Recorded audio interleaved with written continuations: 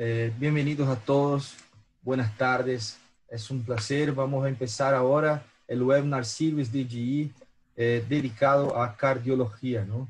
Con, placer tenemos ahí a doctora Victoria Delgado de Barcelona. Eh, doctora Victoria es cardiologista, especialista senior en Lady University Medical Center en, en Holanda y tiene en su área de interés imágenes multimodal, multimodalidades, ¿no? Y vamos a tener ahí con nosotros para hacer la moderación, eh, las preguntas y, al final de, eh, de, la presentación ahí, doctor Jorge Lovenstein, que es jefe de eco, ecocardiografía, investigación médica y diagnóstico en Buenos Aires. Y también nuestro gerente de producto ahí, Ariel. Entonces quería dejarlos ahí eh, con doctora Victoria, que si ya está lista, puedes empezar, por favor. Un placer. Muchísimas gracias, Cayo, y muchísimas gracias a GE por la invitación eh, para participar en este eh, webinar. Espero que se me oiga bien. Y la verdad es que el tópico es muy novedoso. No hay mucha experiencia con la fusión de imagen en TAC y ecocardiografía o no pensamos mucho en ella y espero que en esta charla pues, eh, les ayude un poco a entender y ampliar eh, los horizontes eh, cuando evaluamos pacientes para determinadas patologías. Estos son mis conflictos de interés. Y a mí me gusta enfocar esta charla desde el punto de vista multimodal, porque em, el cardiólogo clínico intenta diagnosticar al paciente o tratar al paciente desde el punto de vista clínico y no solamente de la imagen por obtener la imagen y ya está, sino que utiliza las técnicas de imagen para poder tener un diagnóstico preciso, para poder entender mejor la patofisiología de eh, la enfermedad, eh, poder tratar de manera mucho más eh, ajustada y mucho más personalizada al paciente y así poder eh, mejorar el pronóstico del paciente. Y eso es la definición de la imagen multimodal. Es no utilizar las, las técnicas de imagen simplemente por lo bonito de las imágenes que podemos obtener, sino con un, un gol o con un objetivo muy específico que es eh, mejorar en cierta manera, el pronóstico de los pacientes. Y la fusión de imagen, eh, podemos utilizar dos técnicas de imagen que son adquiridas en dos momentos diferentes y luego intentar correlacionarlas. La podemos hacer en nuestra mente, por ejemplo, nosotros estamos muy familiarizados a pedir más una técnica de imagen para poder profundizar o eh, entender un poco más el, eh, la patología de ese paciente. Y uno de los ejemplos, por ejemplo, es en el caso de la endocarditis, cuando hacemos un PET-CT. Es una forma de fusión de una técnica de imagen y es muy útil, por ejemplo, en pacientes que tengan una endocarditis de una válvula protésica. Ahora se están implantando mucho más TAVIs, por ejemplo, y eh, las peculiaridades de las endocarditis en TAVIs son un poco diferentes, un poco distintas a lo que es una válvula quirúrgica. Aquí les presento un caso de un paciente de 81 años que recibió una TAVI hace dos años y em, que tenía eh, enfermedad arterial periférica, recibió o, se em, operó de una amputación del miembro eh, inferior izquierdo y presentó luego eh, fiebre a pesar de eh, tratamiento antibiótico. Se realizó una ecocardiografía transtorácica que no demostró ninguna disfunción de la válvula, no demostró ningún signo de endocarditis y los cultivos de sangre eran negativos. Se hizo un transesofágico y aquí lo que pueden ver es que eh, las valvas de la válvula eh, protésica están bastante engrosadas y podrían dar la impresión de que es una endocarditis, pero como pueden ver, no genera mucha disfunción eh, protésica. Y eso es un poco una característica inusual en las endocarditis protésicas a las que estamos acostumbrados, en las que solemos ver que hay, por ejemplo, incluso abscesos u otras complicaciones. Si hacemos un PET-CT en el que podemos ver la captación de eh, fluorodioxiglucosa por el material o eh, las estructuras que están con infección activa e inflamación, pues podemos ver aquí hacemos una buena supresión de la captación de glucosa por parte del miocardio y solamente capta lo que es el frame de la eh, válvula, indicando aquí la afectación endocardítica o la infección de la válvula. Y además, como es un TAC de todo el cuerpo, se pueden eh, ver muchas veces la puerta de entrada, que en este caso, como hemos dicho, el paciente fue sometido a una amputación del miembro izquierdo y se puede ver aquí también captación en el área donde había la infección. Con lo cual, esa es una forma de eh, fusión de imagen que nos es muy útil en clínica práctica y que muchas veces ya estamos eh, todos nosotros acostumbrados. Otra, por ejemplo, es la fusión entre PET o SPECT y eh, la, em, coronariografía em, por TAC. En este caso, lo que intentamos combinar son dos Mm, aspectos patofisiológicos diferentes de lo que es la enfermedad coronaria. Uno es si hay isquemia y con eh, la coronariografía computerizada lo que podemos ver es la lesión anatómica.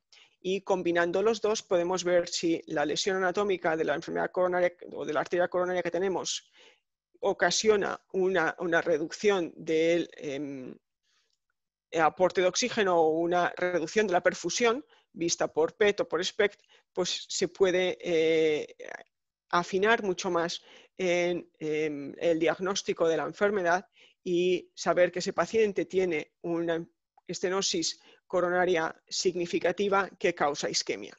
Y esto en el estudio pacífico, por ejemplo, donde se comparaba la sensibilidad y especificidad y los valores predictivos eh, eh, positivo y negativo y, la precisión de la técnica, pues tanto PET como SPEC tenían una eh, muy buena em, sensibilidad y especificidad, mucho mayor para el PET. Y también lo podemos hacer con ecocardiografía. Se han publicado trabajos, por ejemplo, esta viene del grupo de Roberto Lang, en el que se eh, aplicó la ecocardiografía 3D y se fusionó con el, el TAC de coronarias y lo que se puede ver a través de strain longitudinal y con el, TAC de perfusión, como las abnormalidades del strain longitudinal eh, analizado por ecocardiografía 3D coincide con el defecto de perfusión y con la lesión anatómica que se ve en el TAC. Con lo cual, esa es una técnica de fusión de TAC con ecocardiografía que nos permite eh, perfeccionar o mejorar el diagnóstico eh, del paciente y además tiene implicaciones terapéuticas y pronósticas, porque como hemos visto en varios estudios que si no hay isquemia o si no es significativamente, eh, si no causa una obstrucción al flujo de sangre de manera significativa, pues la revascularización parece no aportar ningún beneficio. Con el estudio de isquemia trial, esto es, queda un poco más en duda, pero bueno, en cierta manera, eh, podemos eh, obtener dos aspectos patofisiológicos diferentes, la lesión anatómica y las consecuencias funcionales, y combinarlas con las dos técnicas de imagen. Ahora, el, campo en el que esta técnica probablemente va a ir mucho más allá y probablemente se pueda hacer eh, imprescindible es en la patología estructural. La patología estructural ha cambiado mucho el manejo en los últimos años, se está yendo a mucho más técnicas percutáneas y a mucho menos em, técnicas menos invasivas y para ello necesitamos una muy buena técnica de imagen. La ecocardiografía 3D, la ecocardiografía transofágica, ha progresado mucho en los últimos años y podemos tener una muy buena eh, evaluación anatómica de diferentes entidades de la em, válvula aórtica, sobre todo la válvula mitral, tanto en estenosis como en insuficiencia mitral, del septo interauricular para el eh, cierre de defectos em, del em, septo interauricular y para todos los tratamientos percutáneos valvulares. Y en este caso es muy importante saber cuáles son las diferencias con la cirugía. ¿Por qué todas estas técnicas han aparecido y han realmente ayudado mucho a este campo? Porque si comparamos la cirugía con las intervenciones percutáneas, el cirujano ve perfectamente la lesión anatómica, como es, no ve eh, la válvula mitral o la válvula tricúspide en movimiento, pero sí que puede ver, por ejemplo, que tiene un anillo dilatado, que tiene unos velos redundantes, que tiene unos velos que están, son tan eh, redundantes que prolapsan o que están laxos. Y si nos vamos al mundo del intervencionista, en el que solamente vemos la fluoroscopia, pues ahí tenemos prácticamente o ningún eh, anatomical landmark, ningún em, em, marca anatómica, por así decirlo, o tenemos que utilizar el catéter y llenar la coronaria derecha para saber cuál es el anillo tricuspidio y ver dónde estamos. Entonces, como puente intermedio para el intervencionista es muy importante tener una buena visibilidad del tejido eh, que se está moviendo, en este caso la válvula mitral o la válvula tricúspide. Y muchas veces mirar a dos pantallas puede ser un poco difícil y se puede convertir uno en un camaleón. Pero bueno, si hay una buena comunicación entre el, ecocardiografista o la persona especializada en imagen y el intervencionista, pues el procedimiento puede ser, la verdad, que muy agradable de realizar y, muy, muy divertido eh, y muy challenging y eh, sobre todo cuando el resultado es muy bueno, pues eh, muy gratificante, no solamente para nosotros, sino también para el paciente. Yo creo que los eh, objetivos de la imagen de fusión en las intervenciones percutáneas es básicamente facilitar el procedimiento e intentar utilizar un lenguaje común. Nosotros venimos de dos mundos un poco diferentes y aunque la fluoroscopía no se ha considerado siempre una técnica de imagen, es una técnica de imagen. Y el ecocardiografista tiene que intentar saber cómo eh, se comunica la imagen ecocardiográfica con la imagen fluoroscópica. A los felos que yo tengo aquí siempre les digo, fijaros dónde está la sonda transesofágica y cómo estáis viendo la imagen en tu pantalla, porque cómo está orientada la sonda transesofágica respecto al catéter que el intervencionista tiene y qué es lo que tú estás viendo, es un muy buen aprendizaje para poder comunicarte mejor con el intervencionista. Y el intervencionista de esa manera podrá entender también qué es lo que estás viendo tú con la ecocardiografía. Con lo cual, la ecocardiografía 3D es fundamental, pero es también un ejercicio para los dos, tanto el intervencionista como el ecocardiografista, conseguir llegar a un lenguaje común. Es muy importante para la seguridad del procedimiento. Em, como os he dicho antes, el intervencionista no va a ver la válvula mitral, no va a ver la válvula tricuspidea y eh, procedimientos como son, por ejemplo, la punción transeptal en intervencionistas que están muy experimentados, pues probablemente lo puedan hacer muy fácil simplemente con fluoroscopía, pero en eh, otros intervencionistas que están empezando, por ejemplo, pues muchas veces no se van a fiar eh, de lo que están haciendo o de lo que están viendo, lo que le están guiando, con lo cual es muy importante saber esta comunicación. Y luego es muy importante para conseguir unos resultados buenos. ¿Qué tipos de fusión de imagen tenemos en el CADLAB ahora mismo? Hay dos. Uno es la ecocardiografía con la fluoroscopía, que lleva más años y que ya hay muchos centros que están utilizándola, y luego es la ecocardiografía con la tomografía computerizada. Y voy a ir a través de los diferentes casos para que puedan ver cuáles son los pros y los cons de cada una de estas técnicas. En la ecocardiografía con la fluoroscopía, donde más se ha utilizado, por ejemplo, es en el Mitra Clip. Ahí tenemos que hacer una punción transeptal, con lo cual tenemos que eh, saber cómo se orienta en la imagen de fluoroscopia, como por ejemplo aquí en este eh, paper de em, Francesco Faletra, eh, dibuja, y cómo lo podemos orientar con la imagen de 3D, y cómo esta imagen de 3D que nosotros hemos adquirido y orientamos, lo podemos combinar con la fluoroscopía. Y eso es lo que intentamos hacer. Lo que funciona es a través de, eh, introducimos la sonda y cuando se activa el sistema con la fluoroscopía, la fluoroscopía detecta el cabezal de la sonda y entonces intenta eh, em, poner la imagen o superponer la imagen ecocardiográfica que se está obteniendo con la imagen fluoroscópica, con lo cual podemos ver el catéter y cómo se orienta y qué es lo que se está viendo.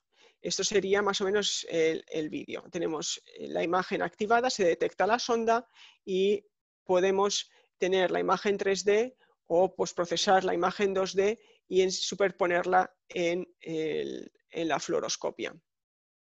Como he dicho antes, esto ayuda mucho a la comunicación, pero si se llevan haciendo muchos dispositivos, el simplemente mirar la posición de la sonda relativa al catéter y lo que nosotros estamos viendo puede ya ayudar mucho. Otras veces también es importante para la orientación del clip. Del clip tiene que ser perpendicular a la línea de cooptación de la válvula mitral, pero claro, en la fluoroscopia es muy difícil verlo y muchas veces al intervencionista le es difícil orientar dónde están los brazos del clip. Y en ese caso, pues sabiendo que los brazos del clip están perpendiculares a la línea donde el cabezal de la sonda está apuntando, pues eh, lo podemos asegurar. Si no, a través de esta técnica de imagen, pues funcionando las dos imágenes se puede eh, ver eh, live. Y luego podemos ver, por ejemplo, cómo se han implantado los Mitra Clips y cómo queda el resultado live con la imagen en color superimpuesta en la fluoroscopia. Esta técnica de imagen eh, es muy fácil, eh, no requiere mucho tiempo, eh, requiere siempre un poquito de tiempo y si tienen ustedes un intervencionista como el que tenemos nosotros que mm, no va a aguantar mucho tiempo, pues hay que ir corriendo. Pero es muy útil al principio y sobre todo para asegurar que la punción transeptal va a ser adecuada, porque en el mitraclip el, el step o el paso que es más crucial es una buena punción transeptal. Si se va muy anterior en el eh, septo interauricular, si se va muy posterior o muy bajo, Luego habrá dificultades para manipular el catéter dentro de la aurícula izquierda y podemos no conseguir un resultado eh, tan óptimo como desearíamos, con lo cual es uno de los pasos más importantes. El resto eh, puede también ayudar, como he enseñado, pero es más fácil. El crítico es la punción transeptal. ¿Tiene algún impacto en cuanto al, al procedimiento?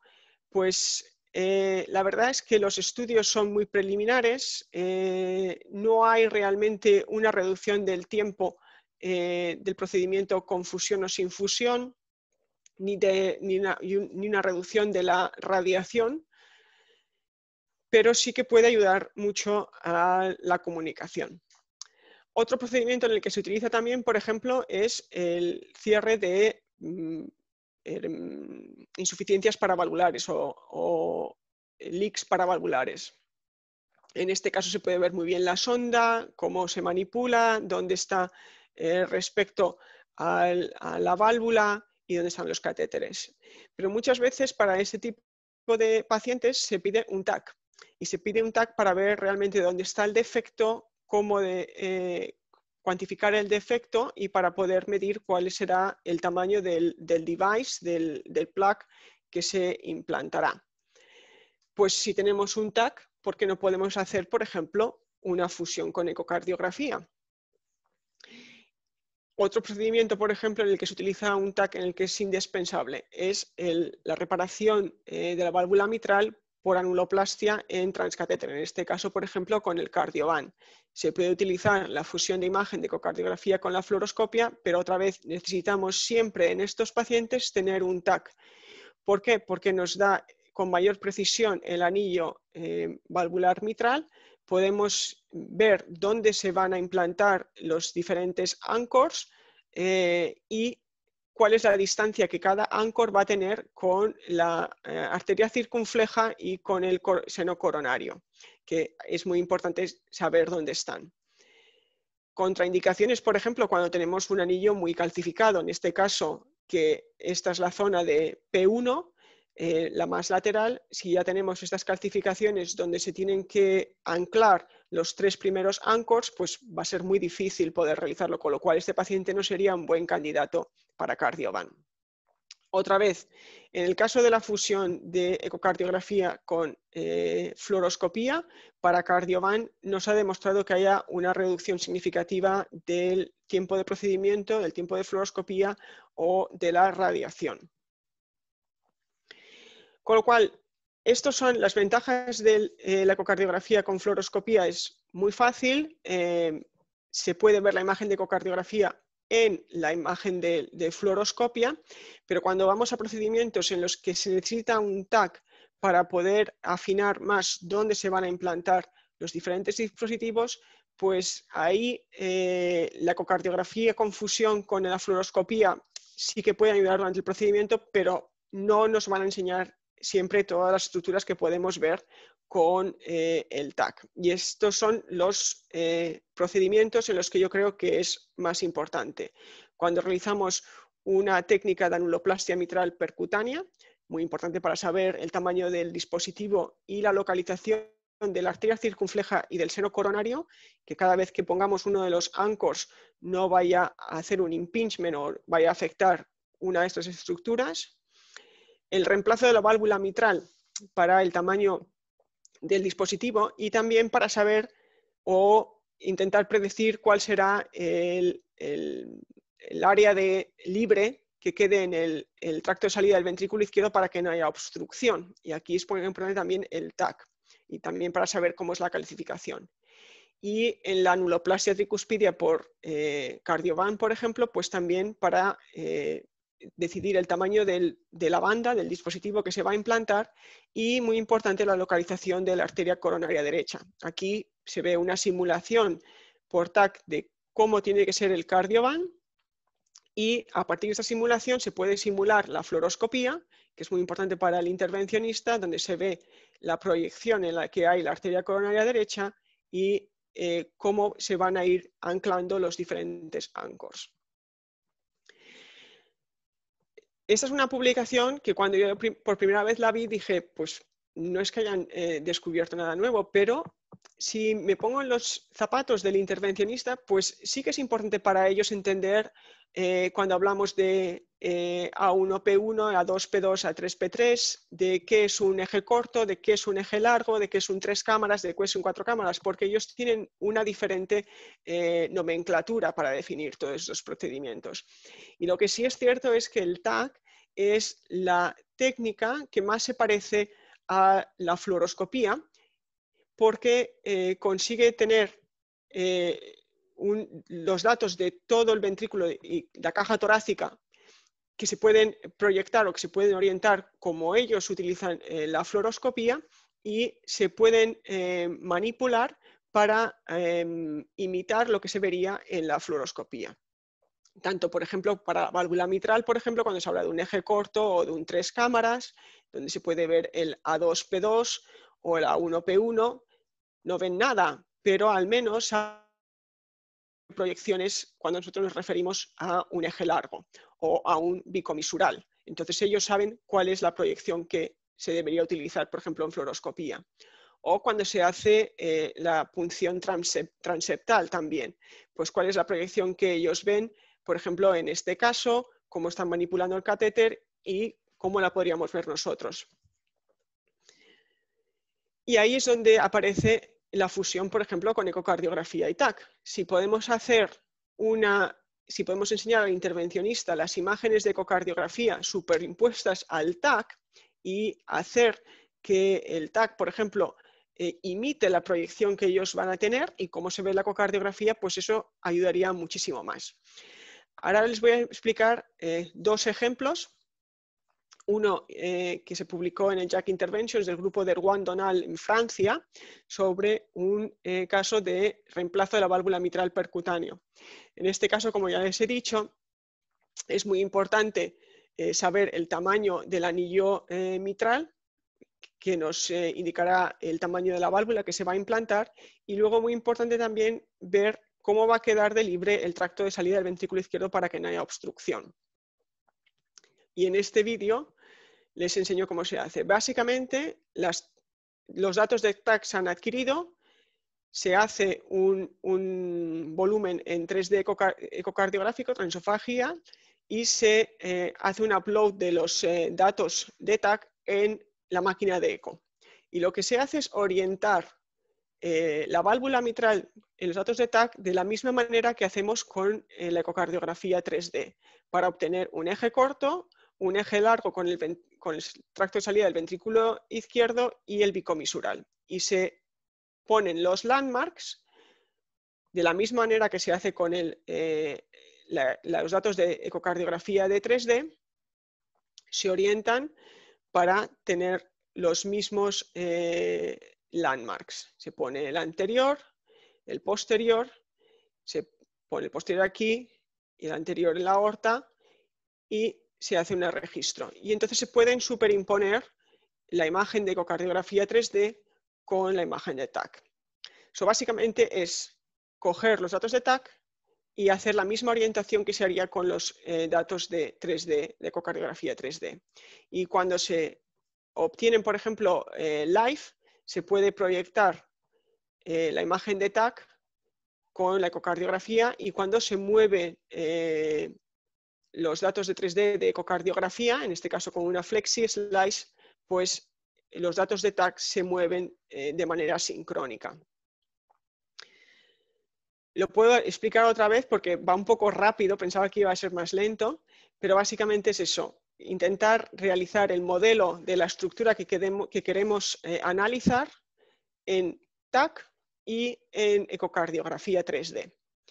Y cuando se obtienen los dos eh, modelos, se hace un corregistro de los dos eh, tipos de datos, ecocardiográficos y de TAC, y entonces ahí ya hay eh, una fusión completa y lo que se tiene que hacer es pues, simplemente guiar el procedimiento eh, teniendo la imagen de ecocardiografía y de TAC de manera simultánea y para el intervencionista puede ayudar. Aquí se ve otra vez que se hace el corregistro, se puede ajustar un poco, es bastante preciso, la imagen de 3D, ecocardiografía y la imagen de TAC. Y aquí, por ejemplo, sería pues, una especie de flexi slice donde podemos mover los ángulos como nos necesitemos y cómo cambia aquí la imagen de TAC de manera simultánea. En este caso, por ejemplo, pues se implantó una Tendyne eh, y lo que se ve es que el tracto de salida del ventrículo izquierdo está bastante libre. Nosotros aquí tenemos experiencia utilizando esta técnica, por ejemplo, con la anuloplastia mitral. En este caso tenemos los datos de TAC, es un paciente en el que se implantó un MitraClip, pero persistió con insuficiencia mitral severa y como tenía una dilatación del anillo muy eh, amplia, se intentó hacer un cardioban para mejorar la coaptación. Y aquí se ve cómo se superimpone el 3D con eh, la ecocardiografía y aquí es durante el procedimiento en el que tenemos el catéter eh, implantando uno de los anchors. Esta es la imagen de 3D en Face View o el Surgical View que se llama. Y aquí tenemos esta eh, imagen que corresponde con el, donde está el anclaje. Un poco más eh, difícil de guiar en, el en es la anuloplastia de la válvula tricúspide. Este es un caso de un paciente de 78 años que tenía antecedente de bypass eh, coronario y pericardictomía total por pericarditis constrictiva, con lo cual los cirujanos siempre son un poco reticentes a reoperar. Y el paciente eh, desarrolló insuficiencia tricuspidia severa, por lo que inicialmente, como tenía una buena cooptación, todavía Em, se podía conseguir igual reducir la insuficiencia tricuspidia con MitraClip. El paciente recibió cuatro clips y la verdad es que el resultado inicial fue un poco mejor, pero progresó y desarrolló otra vez insuficiencia tricuspidia severa y sintomática. Y la pregunta fue si el paciente podría ser ayudado con Cardiovan. Se le hizo un TAC, aquí ven cómo se hace eh, el, patrón o el modelo a seguir, se mide el anillo eh, tricuspidio y en este caso pues el, ancho de banda que tiene que utilizarse eh, para eh, poder conseguir reducir la insuficiencia tricuspidia. Se mira también dónde está la arteria coronaria derecha y, si hay suficiente espacio entre los anillos iniciales, entre los anchors iniciales y al final, aquí siempre es un poco más difícil y aparecen, por ejemplo, en rojo porque hay alto riesgo de que se lesione la coronaria derecha, Pero bueno, en principio eh, nos dieron el visto bueno para poder implantar este device. Y aquí aparece la simulación de, por ejemplo, cómo tiene que ser implantado el primer Anchor, que tiene que ser implantado a nivel anterior, bastante cerca de la aorta, y aquí está la distancia con la coronaria derecha, que es 14,6 milímetros, espacio que hay para poder implantar y donde se debería poner el anillo o el Anchor de 9,3. Esto sería por la imagen de 2D, se tiene que conseguir un eje corto de em, la válvula aórtica y entonces ahí asegurar si está el anillo tricuspide o no. Poco difícil, ¿verdad? Pues imagínense por fluoroscopía. Esto es lo que ve el intervencionista. Simplemente pone un wire a través de la coronaria derecha y se implanta el primer eh, anchor. Donde está la válvula aórtica queda más o menos por aquí y eso es lo que se ve, con lo cual yo creo que la ecocardiografía 3D eh, es de gran ayuda. Aquí se ve, por ejemplo, una en face view, esta sería la válvula mitral, esta es la válvula aórtica, aquí estaría la pulmonar y aquí tendríamos la tricúspide y este es nuestro catéter.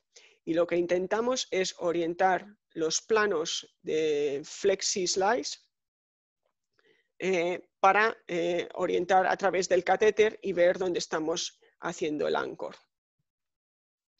Y eso se puede hacer si tenemos los datos de TAC con la simulación ya puesta, donde empezamos el primer eh, anchor, donde estamos y podemos tener la imagen live eh, con ecocardiografía y podemos orientar los planos de la misma manera aquí. En este caso, por ejemplo, pues tendríamos este, se orienta y tenemos aquí este punto que es donde queremos, este punto rojo donde queremos poner eh, los anchors. Esto sería con la proyección con el 3D. Y una vez puestos los primeros eh, anchors, se va siguiendo el anillo de la mejor manera posible. Aquí todavía es fácil, es más difícil a nivel posterior, pero aquí, por ejemplo, pues podemos ver que donde se va a poner el anchor, pues queda muy poquita distancia con la coronaria derecha y eso no lo podemos ver con la ecocardiografía, con lo cual creo que eh, teniendo las dos técnicas, viendo dónde está el catéter, dónde se está haciendo el anchor y dónde estamos yendo, pues podemos ver si estamos cerca o no de la coronaria derecha. Este es el resultado final. Si me preguntan, esto sería aquí la aórtica y aquí está la válvula mitral y aquí pues quedó la banda un poco eh, tendría que haber ido un poco más hacia el septo, se fue un poco más hacia arriba, pero había riesgo de lesionar la coronaria derecha, se lesionó ya una vez y no se quería hacer más daño. Y ese es el resultado final en fluoroscopía, donde se ve la coronaria derecha. Y ese es el antes y ese es el después, en el que hay una reducción significativa de eh, la insuficiencia tricuspidia. El paciente está muy agradecido, muy contento, porque puede hacer ahora una vida normal y la verdad es que nosotros pues también muy gratificante ver que el resultado es bueno. Con lo cual, en conclusión, yo creo que em, nos tenemos que olvidar un poco de los diferentes silos de imagen, hay que eh, manejar o entender eh, cómo las diferentes técnicas de imagen eh, funcionan y qué información nos pueden aportar para poder combinarlas y obtener así el mejor diagnóstico posible, personalizar el tratamiento y mejorar el pronóstico.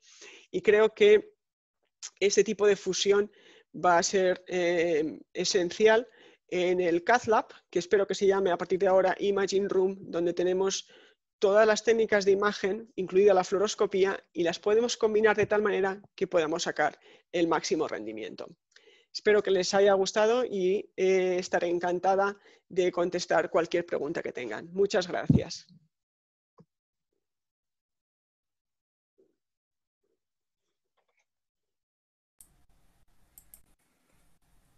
Bueno, fascinante, realmente casi ciencia ficción.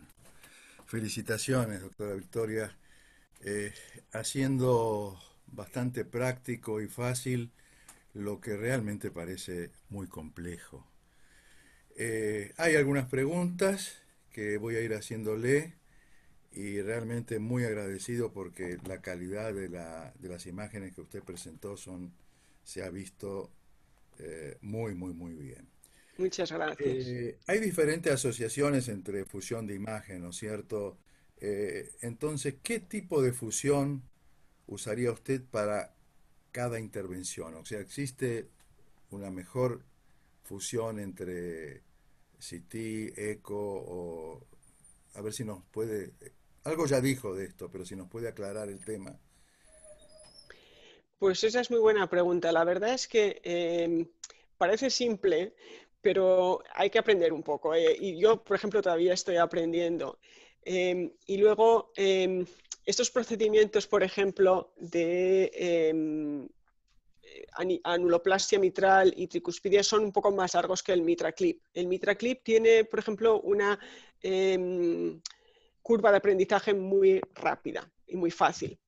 Y el, como he dicho antes, el, punto más crucial es la punción transeptal. Ahí en ese caso yo creo que una fusión con ecocardiografía y fluoroscopia es suficiente.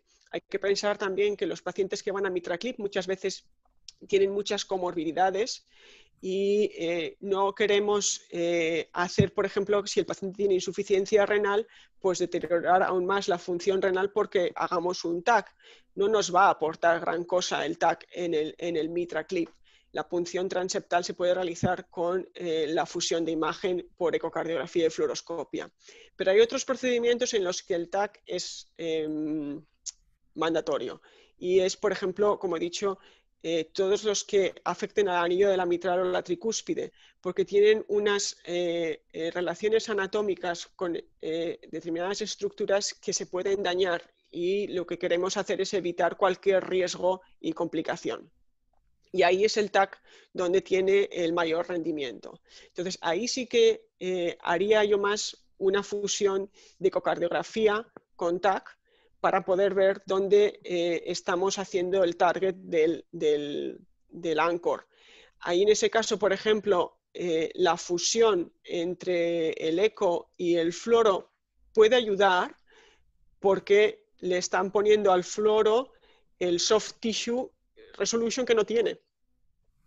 Pero eh, el intervencionista al final va a decir, estoy encima del anillo o no, estoy en tejido que es el anillo y no estoy en la valva de la, válvula y puedo ir seguro ahí o no. Si me pregunta, ¿puedo ir seguro o no respecto a la arteria circunfleja o la arteria coronaria derecha? Pues con el eco para mí es muy difícil verlo. Y si tengo el TAC, pues más o menos puedo eh, precisar dónde está yendo. Con lo cual es un poco eh, el saber qué es lo que se necesita para hacer el, procedimiento y sacar el máximo rendimiento de ello. Si para un Mitra Clip yo no necesito un TAC, pues no voy a necesitar un ecofusión con TAC, porque no voy a exponer al paciente a, más eh, riesgo.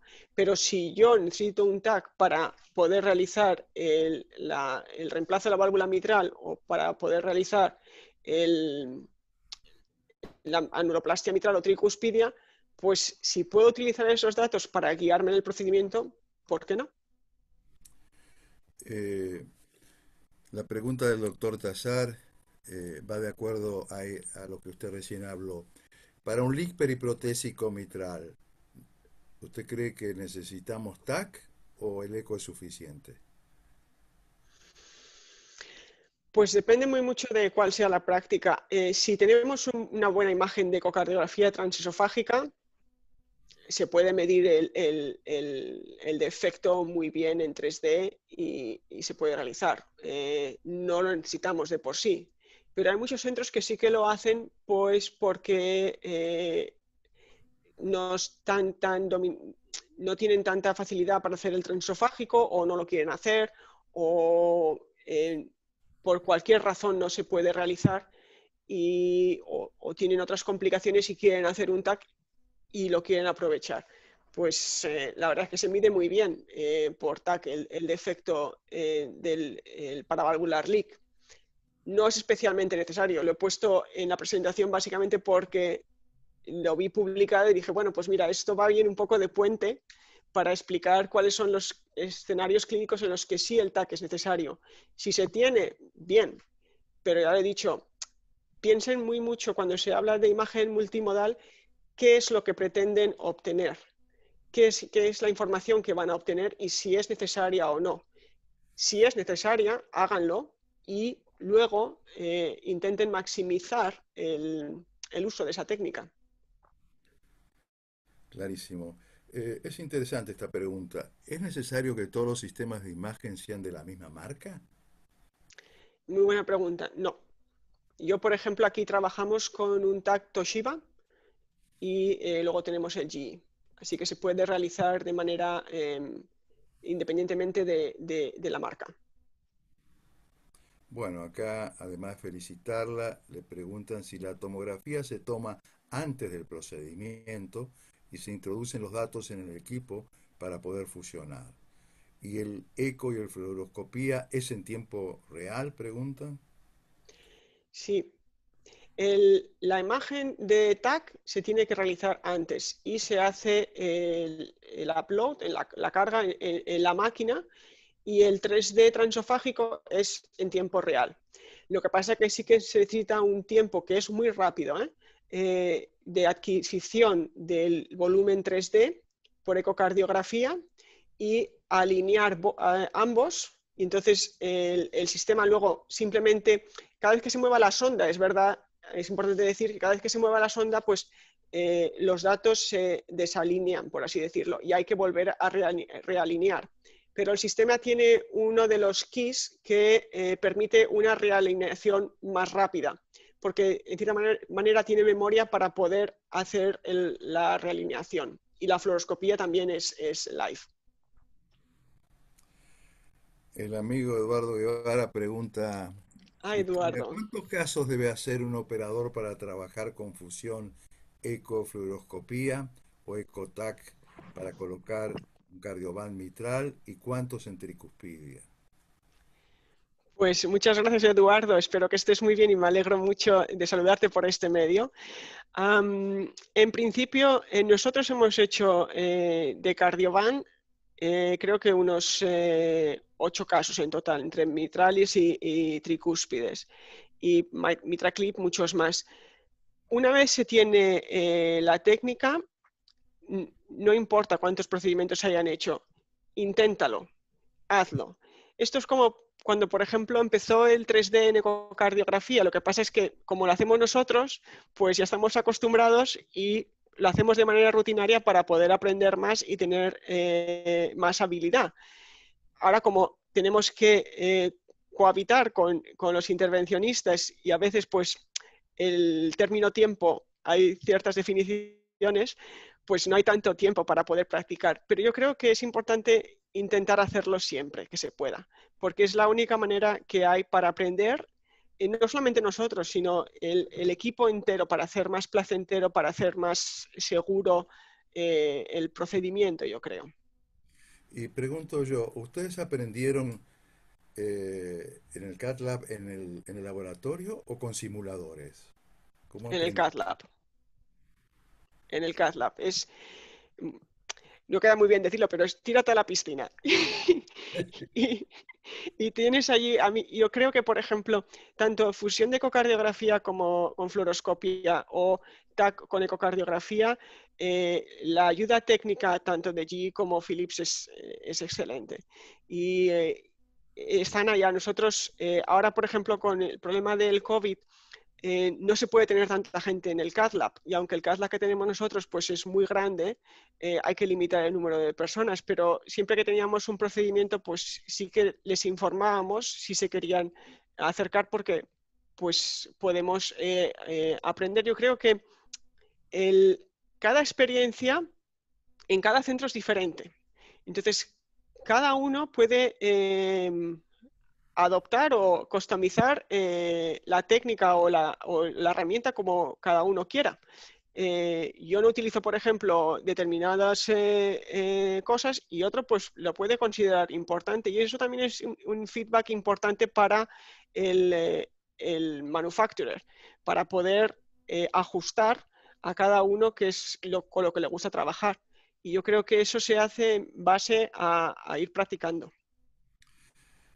Sí, yo creo que la pregunta de Víctor Darú ya se contestó, pero eh, ¿los datos de Eco y TAC deben ser del mismo fabricante o acepta RODAT o eh, DICOM de otros proveedores? Del TAC puede ser DICOM de otros proveedores. De, em, la ECO tiene que ser GE y la fluoroscopia puede ser de otro proveedor, no hay ningún problema. Eh, el doctor Almendaris pregunta, ¿de cuántos cortes como mínimo debe tener el tomógrafo para un, un estudio óptimo de, fusión? Pues para el estudio óptimo de fusión, eh, lo que hay que tener em, es buen contraste, pero básicamente el que te va a determinar la calidad del TAC va a ser el manufacturer del cardiovan, por ejemplo. Porque a nosotros muchas veces tenemos problemas, el, radiólogo no se acuerda que tiene que hacer la reconstrucción con 0,5 milímetros de, grosor, eh, que tiene que ser con buen contraste en el ventrículo derecho y entonces eh, eh, Edwards Life Science nos dice, pues este paciente no puede ser tratado con Cardiovan porque no nos aseguramos, porque no tenemos una buena imagen de TAC. Con lo cual tiene que ser, eh, la adquisición tiene que ser em, con EKG gated, tiene que ser a lo largo de todo el ciclo cardíaco y tienen que ser con eh, reconstrucción cada 5 o 10% del ciclo cardíaco y con un grosor de thickness de 0,5.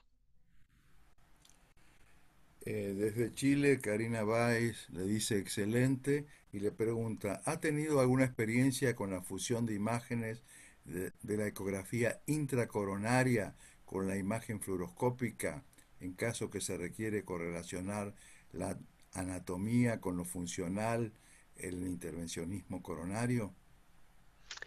Pues eh, lo siento decir, pero no. Eh, yo creo que se refiere más bien al OCT, pero yo no tengo experiencia, no soy intervencionista y entonces eh, eso ya se lo dejo más al, intervencionista. Aquí particularmente son más pros a utilizar iBus.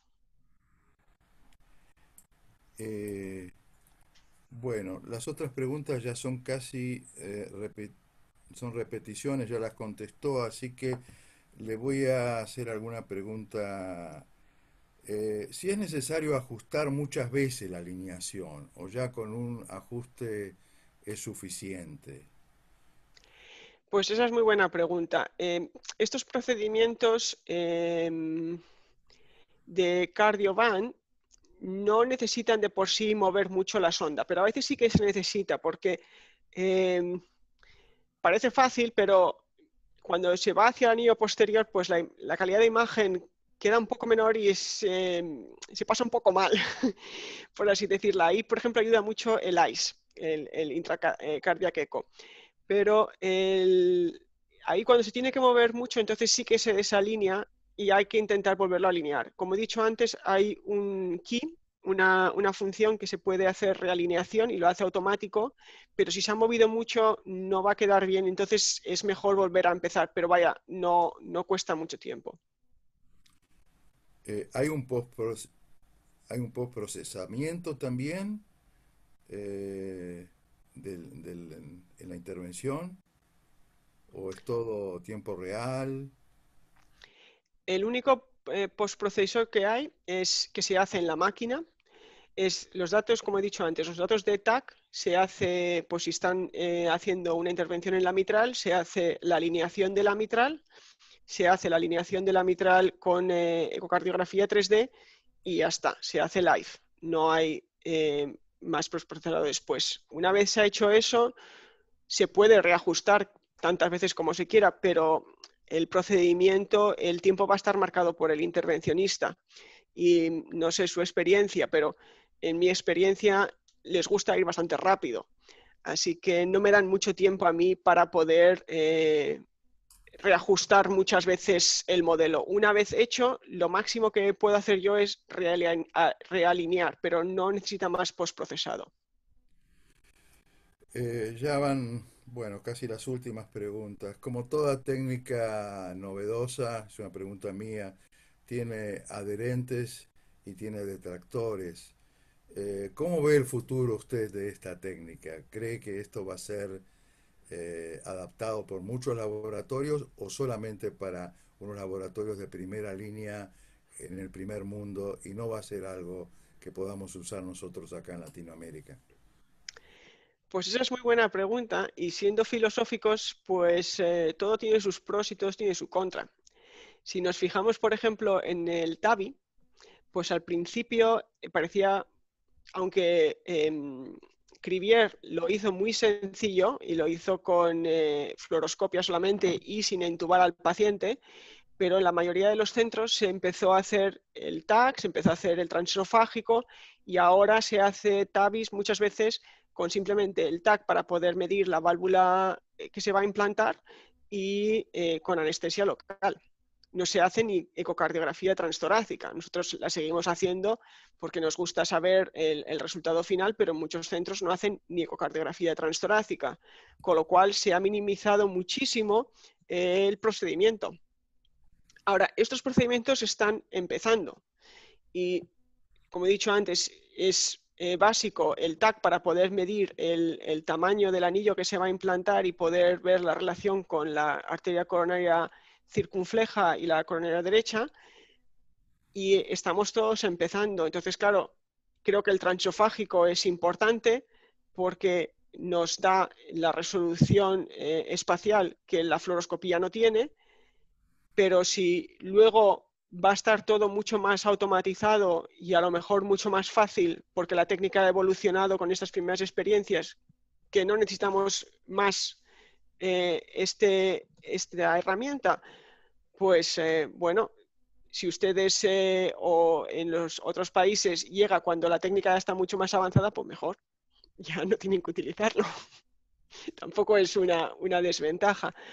Em, para ser sincera, yo creo que tiene ventajas utilizarla pero eh, muchas veces sí que es un poco la lucha entre el intervencionista, porque tiene el Proctor de Edwards Life Science, que han sido entrenados con la fluoroscopía, y nosotros, que queremos ver si podemos ajustar un poco más, si podemos mejorar un poco más, si podemos dar más información. Con lo cual, eh, ya veremos en el futuro. Para mí lo básico, para la persona que se va a dedicar a la imagen en la intervención, es saber muy bien qué es la fluoroscopía, cómo lo que se ve en la fluoroscopía se ve en el eco y poder entender eh, lo que el intervencionista está viendo. Eh, yo creo que siempre se pone un poco eh, en defensa el ecocardiografista, pero también tienes que ponerte un poco en los pies del otro y entender la técnica de imagen de fluoroscopía, que es una técnica de imagen al fin y al cabo. Excelente la respuesta. El doctor Guevara está preocupado por la radiación y pregunta cómo es la mejor forma de proteger al ecocardiografista que está en el laboratorio por mucho tiempo. Pues yo, yo eh, la, mejor manera será mi sueño, que hagan una mesa de CathLab donde hay una sonda transofágica adherida que la pueda manejar el intervencionista, porque una vez el paciente intubado con la sonda dentro no se mueve tanto. y entonces la maneja él, yo puedo estar sentada afuera y le puedo decir, mejora la imagen y ya está. no tengo que estar yo dentro. Pero hoy en día el, ecocardiografista, nosotros lo que utilizamos son, además del delantal y cubierto todo, las gafas, eh, los eh, guantes eh, con plomo y una pantalla. Y aún y todo, pues es un poco bastante. Pero bueno, mi, sueño, yo intento decírselo a las compañías, por favor, hagan esa mesa que tenga eh, la ecocardiografía ya instalada, la sonda transtorácica, transofágica, y que yo simplemente la pueda manejar desde la distancia. Le voy a leer como tenemos todavía cinco minutos de tiempo, pues vamos a terminar a, las dos en punto. Eh, bueno, eh, excelente información, espectacular como siempre. Gracias. Un himno a las imágenes cardíacas. Eh, acá hay una pregunta. ¿Ve usted posible que la ecocardiografía para algunos casos específicos o más complejos pueda reemplazar la fluoroscopía en relación al intervencionismo? Sí. Nosotros aquí eh, y tengo la suerte eh, de tener eh, dos intervencionistas que se dedican a este tipo de intervenciones que muchas veces no pisan prácticamente el pedal. Lo pisan para la punción transeptal porque se fían un poco más, pero ya está. Luego no hay mucho más. Con lo cual, el tiempo de fluoroscopia que tenemos nosotros, por ejemplo, aquí para el Mitra Clip es pues no más de dos minutos. Y todo lo demás es con ecocardiografía. Y yo creo que si hay una buena comunicación y un buen aprendizaje por parte de los dos, ¿eh? tanto el intervencionista como el ecocardiografista para poder orientar, em, si se quiere, se podría hacer sin fluoroscopía. Eh, a ver si nos puede aclarar, hay una pregunta, si en el mismo momento se realiza geografía por cateterismo, TAC y ECO 3D, ¿es posible que todo se haga simultáneamente? Eh, no creo, porque el TAC, por ejemplo, si hay que hacerlo cada vez, eso conllevaría mucha radiación y ahí no me gustaría estar metida. Y al intervencionista. Otra cosa será, por ejemplo, por resonancia magnética. Y la resonancia magnética sí que está ahora abriendo campo en, en los laboratorios de electrofisiología para ablación de em, eh, arritmias, por ejemplo, flutter y arritmias supraventriculares. Ahí sí que podría haber, pero vaya, hasta ahora creo que la comunicación ecocardiografía eh, con el intervencionista va a mejorar y estos procedimientos probablemente se van a simplificar. Y allí es básicamente ver, eh, intentar reducir al máximo la radiación. Yo creo que el intervencionista también está interesado en ello y ver cuál es la mejor combinación que funciona para el equipo y luego ir por, por ello. Siempre que se pueda aprender para mejorar y para reducir radiación, no solamente para el paciente, sino también para el equipo, pues mucho mejor. ¿Y se puede fusionar PET y SPECT? Es otra de las preguntas. Mm, no sé, se podría, pero se tienen que hacer eh, dos adquisiciones diferentes en tiempo diferente y, y luego hacer la correlación. Bien, es la última pregunta y estamos justo a tiempo. ¿Cómo es el planeamiento entre ecocardiografista e intervencionista para cierre de fugas perivalvulares protésicas? Pues eh, nosotros lo que hacemos, el ecocardiografista ve la imagen en 3D de ecocardiografía 3D y la quiere ver bien y, él mismo, muchas veces el, el, yo creo que ha ayudado mucho, porque por ejemplo en nuestro caso los intervencionistas eh, se miden ellos mismos el TAC. El radiólogo ha empezado a hacer el reporte de la ecocardiografía del, del TAC mucho más tarde y el intervencionista ya ni lo mira. Eh, no se va a fiar, porque sabe muy bien cómo medirlo. Entonces son datos que se obtienen en un momento dado y que luego los puedes manipular para conseguir, a través de la orientación de los eh, planos ortogonales, pues la visualización de las estructuras que tú quieres. Y como he dicho antes, el paper del grupo de Nicolò Piazza pues ayuda mucho a ver si yo quiero ver una eh, válvula mitral en el eje corto, cuál es la proyección que yo tengo que tener eh, en el fluoroscopio la fluoroscopía. Y ahí el TAC es la técnica de imagen donde ellos se encuentran mucho más seguros.